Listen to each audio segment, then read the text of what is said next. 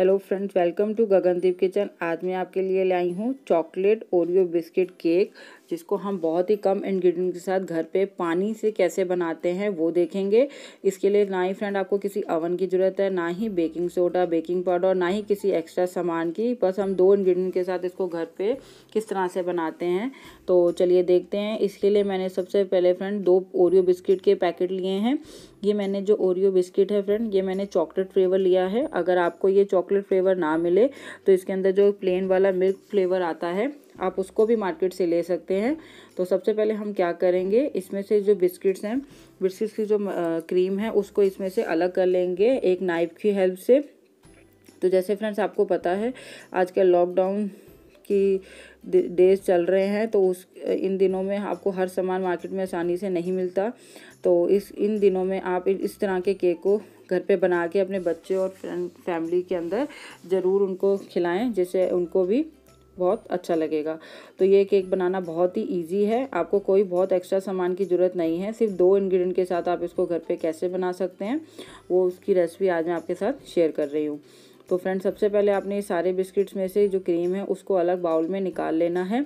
अब इसको हम साइड पे रख देंगे। सब, अब इस बिस्किट्स को हम एक मिक्सर जार के अंदर डाल के इसका एक फ़ाइन पाउडर बना लेंगे। पाउडर बनाते टाइम आपको ये ध्यान रखना है कि इसका जो पाउडर है बिल्कुल फ़ाइन बने। इसमें मोटे मोटे चंक्स ना रहें। तो इसको एक से दो, तीन बार चला के इसको एक अच्छा सा पाउडर में हम इसको कन्वर्ट कर लेंगे। अब इसको हम एक मिक्सिंग बाउल के अंदर डालेंगे और जैसे आपको दिख रहा है, इसके अंदर सारा हमने जो पाउडर है, इसको एक बाउल के अंदर डाल लिया है। और इसके साथ ही हम इसके लिए, इसमें हम एक कप दूध का भी यूज़ करेंगे। जैसे आपको पता है ओरियो बिस्किट का एक अपना एक फ्लेवर होता है तो हमें ना ही किसी चीनी और ना ही किसी एक्स्ट्रा किसी चीज़ की ज़रूरत है। तो बस हम इसके अंदर एक कप दूध की हेल्प से इसको हम मिक्स करते जाएँगे। याद रखें, ये जो दूध है, मैंने रूम टेम्परेचर पे लिया है, ना तो ये बहुत गर्म है, ना ही बिल्कुल ठंडा है।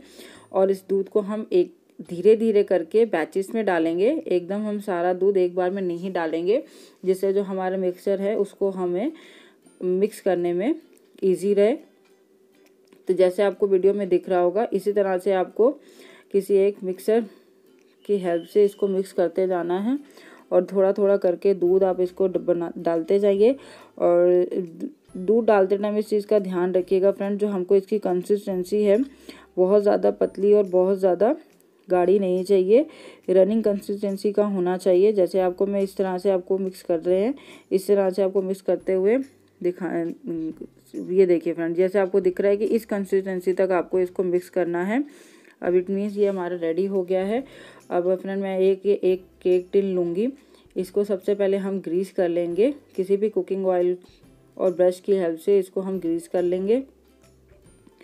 और साथ ही में हम एक इसके बाद हम इसका जो, ये केक का जो पेपर आता है, इसको हम लगा लेंगे और इसको भी हल्का सा ग्रीस कर लेंगे, जिससे हमारा जो केक है बहुत ही ईजली इसमें से, वैसे तो आपका अगर आप ये एक ऑयलिंग नहीं करना चाहते तो आप हल्का सा जो आटा है, वो भी आप हल्का सा डस्ट कर सकते हैं, उससे भी आपका जो केक है बहुत आसानी से इसमें से निकल जाएगा।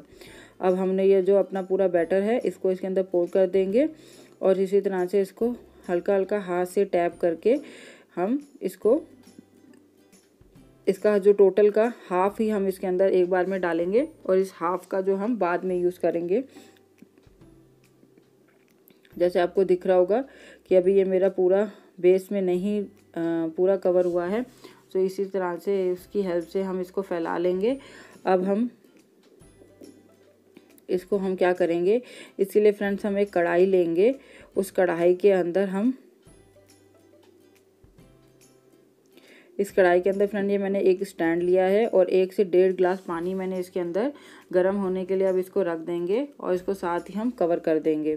कवर करते टाइम ये मैंने एक कपड़े लिया है और इसको इसके अंदर अच्छी तरह से कवर कर देंगे साथ ही में। ये देखिए पानी मेरा अच्छी तरह बॉयल हो गया है। अब इसके साथ ही हम जो अपना इस केक का जो बैटर है, इसको इसके अंदर डाल देंगे और इसके बाद इसको हम इसी तरह से बंद कर देंगे। कपड़े का ध्यान आपने इसलिए रखना है क्योंकि जो ये कपड़ा है, इससे जो हमारा मॉइस्चर है, वो हमारे इस कपड़े के अंदर आ जाएगा और हमारा केक परफेक्टली कुक हो जाएगा। ये देखिए फ्रेंड पाँच मिनट के बाद आपको दिख रहा होगा कि केक हमारा रेडी हो गया है। अब जो हमने इसमें से क्रीम अलग करी हुई थी, अब इस क्रीम को एक एक करके इसके ऊपर सेट कर देंगे। जिस तरह से आपको दिख रहा है, इसी तरह से केयरफुली आप इसको इसके अंदर एक एक करके अच्छी तरह इसकी पूरी लेयर एक बना दीजिए। फिर ध्यान रखें कि इस टाइम जो आपकी कढ़ाई है थोड़ी गर्म है तो थोड़ा सा केयरफुली इस इस प्रोसेस को कीजिएगा। अब इसके बाद जैसे आपको दिख रहा है, ये हमारी क्रीम की लेयर पूरी हो गई है। अब इसके बाद जो हमने बाकी का जो हाफ़ बैटर रखा हुआ था, उसको हम अच्छी तरह इसके अंदर प्रॉपर तरीके से पोर कर देंगे, जिससे जो ये हमारी क्रीम वाली लेयर है, वो पूरी कवर हो जाए।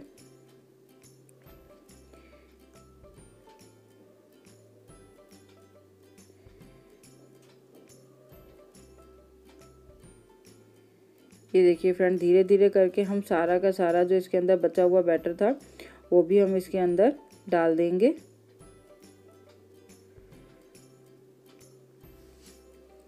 और एक अभी किसी भी नाइफ़ की हेल्प या स्पून की हेल्प से इसके वो एक अच्छी तरह से इसको सेट कर दे, जिससे ऊपर की जो लेयर है वो बिल्कुल प्लेन हो जाए और देखने में थोड़ी सी अट्रैक्टिव लगे। ठीक है?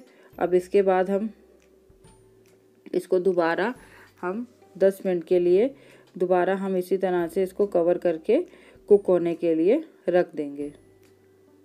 इस टाइम फ्रेंड जो हमारी गैस है, वो लो टू हाई के बीच में है मीन्स मीडियम पे है। तो हम हम 10 मिनट के बाद इसको चेक करते हैं कि हमारा जो केक है, वो बन गया है या नहीं। अब इसको हम एक टूथपिक की हेल्प से चेक करेंगे कि हमारा केक रेडी हो गया है। तो अब इसके बाद हम इसको निकाल के इसको हल्का सा ठंडा होने तक का वेट करेंगे। और इसके बाद एक नाइफ़ की हेल्प से आप इसके जो एजिस हैं, कोने हैं, इसको अलग कर लें। वैसे तो आपको बहुत ज़रूरी नहीं है, पर तब भी अगर आपको लगता है तो इसको हल्का सा इसको राउंड राउंड करके इसमें से इसके एजिस को अलग कर लें, जिससे हमारा जो केक है, वो पेट पे आसानी से निकल जाए। ये देखिए फ्रेंड आपको जैसे दिख रहा होगा कि ये मेरा केक बिल्कुल रेडी हो गया। अब इसके ऊपर जो हमने गार्निंग पेपर लगाया था, इसको हम इसमें से अलग कर लेंगे। ये देखिए, लग रहा है ना बिल्कुल मज़ेदार आ रहा है ना मुँह में पानी। तो इसके ऊपर हम इसको डेकोरेट करने के लिए यहाँ पे मैं चॉकलेट सॉस का यूज़ कर रही हूँ। इसकी रेसिपी भी जल्द अपने चैनल पे अपलोड करूँगी। ये देखिए फ्रेंड इस तरह से आप इसके जो केक के ऊपर जो ये प्रॉपर तरह से ये जो चॉकलेट सिरप है, इसको हम अच्छी तरह से स्प्रेड कर देंगे। और इसके बाद इसको हम नाइफ़ की हेल्प से इसके जिस तरह की शेप आपको चाहिए, उस तरह की में आप इसको कट कीजिए। उम्मीद करती हूँ कि आपको ये मेरे केक की रेसिपी पसंद आई होगी। अगर आपको ये मेरे केक की रेसिपी पसंद आई हो और तो मेरे प्लीज़ चैनल को सब्सक्राइब और लाइक और शेयर ज़रूर कीजिएगा और अपने जो एक्सपीरियंस है मुझे कमेंट बॉक्स में शेयर करिए। चलिए फ्रेंड, अब आपको नेक्स्ट रेसिपी में मिलती हूँ। Thank you.